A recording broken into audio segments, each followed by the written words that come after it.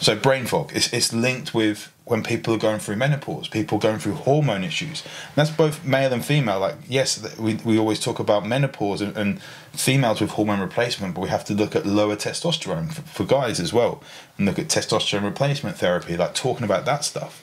Brain fog can be a sign of that. Brain fog can be a sign that you are burning out and that something more serious is coming up mm-hmm. and like we need to need to deal with it. Brain fog can be a sign that you've got poor blood glucose management.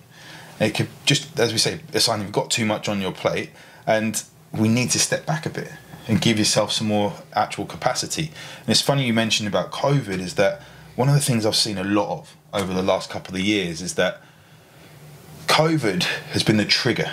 Mm. Both the stress of, of going through lockdowns has triggered a lot of extra, um, and no doubt you've probably seen it with, with clients as well, Yeah, like yeah, extra stresses, which has exacerbated underlying conditions. Um, and COVID has also been the thing that has